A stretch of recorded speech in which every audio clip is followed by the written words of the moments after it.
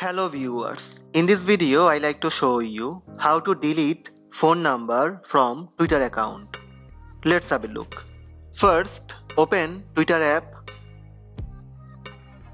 Tap on profile icon on the top left corner.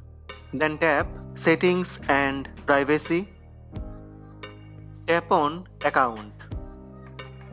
Before removing phone number, make sure your email linked with Twitter account tap on phone.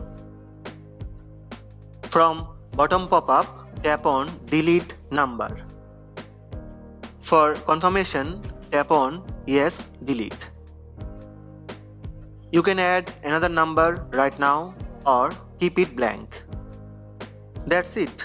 In this way, you can remove or delete phone number from Twitter account.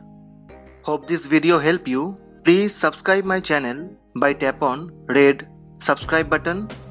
Also tap on bell button to receive notifications about all new videos. Thank you. Thank you for watching.